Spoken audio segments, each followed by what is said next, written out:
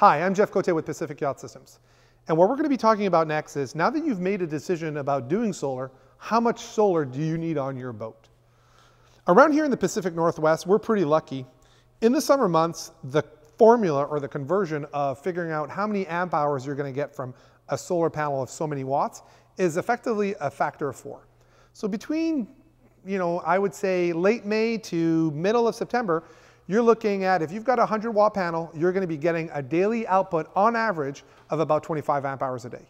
So if, let's go backwards, and if you say your daily amp hours consumption on your boat, and you've got a mid-sized boat, maybe a 35, 40 foot sailboat, or even a small power boat, 35 footish, you're basically looking at about 100 amp hours a day of power consumption on that boat with refrigeration.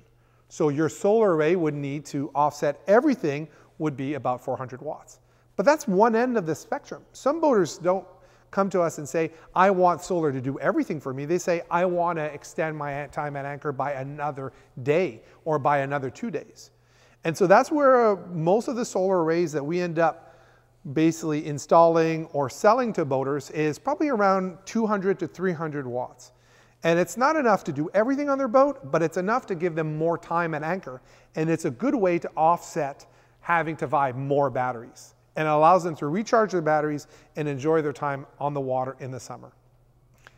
If you want to have or have more questions about solar panels, see our other videos, and thanks for watching.